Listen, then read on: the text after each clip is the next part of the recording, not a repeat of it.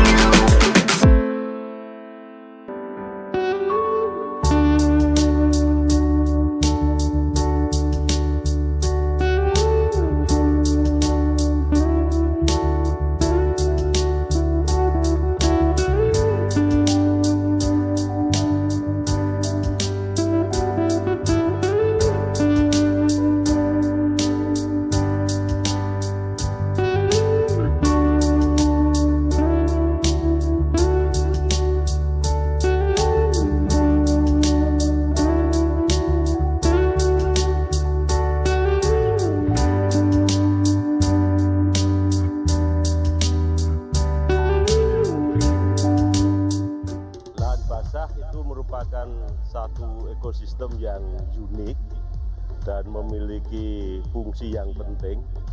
Selain dia juga memiliki keanekaragaman hayati yang tinggi.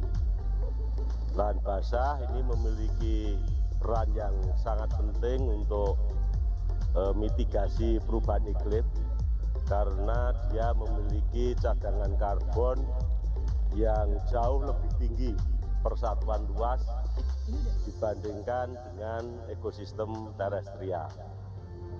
Lahan basah mengalami banyak gangguan kalau mangrove untuk tambak, udang, lalu untuk industri dan lain sebagainya. Kalau gambut untuk agriculture atau tanaman-tanaman yang eh, cocok di lahan kering sehingga harus ada proses-proses drainase. Oleh sebab itu untuk memperingati Hari Lahan Basah Sedunia, kami menghimbau mari kita bersama-sama merestorasi lahan basah, mengembalikan kepada fungsinya agar manusia bisa hidup dengan